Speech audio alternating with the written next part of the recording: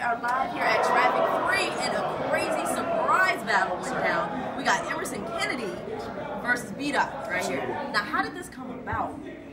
Shit, man. I mean, for me personally, you know, they've been trying to get me for a minute. We've been having issues on the political side of things or whatever. Um, but I, all I ever really asked for was a worthy opponent. So when they said EK, I'm a fan of EK. I think brilliant, and I think he deserves like that that that showing. Like you know what I mean. So I was with it from the jump, man, and we made it happen. All right. Similar, similar. I was, I, I, I've always said I'm not a true battle rapper, so I do it very sp- sparingly. You know, I got offered K, uh, DNA at the last last year or whatever. Then, Okay.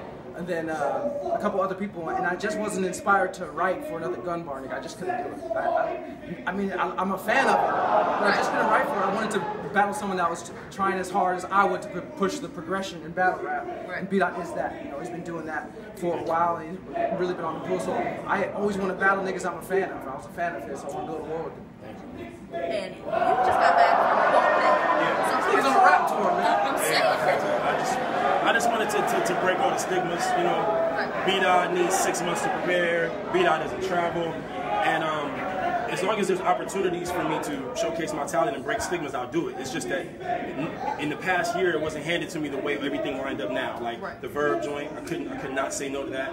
Loso for you know, obviously the religious uh, contention there, I couldn't say no to that. And then like I said, EK, I respect them, and it's an opportunity to be on Smack. I couldn't say no to that. So everything just kind of like it was, it was, it was nerve nerve wracking for me. I was like, damn, I'm taking all these dope opponents back to back to back, but you know, I, I think I fared out pretty well. You know, I think they're I all think so. debatable. You know what I mean? So I'm, I'm, fine with, I'm fine with that. As long as I didn't get smoked.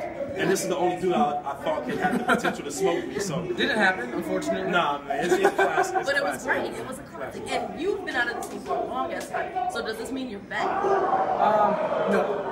Okay. No, I, I Don't man, I, uh, I, there's some people that are battle rappers at heart and they're always thinking of battle bars.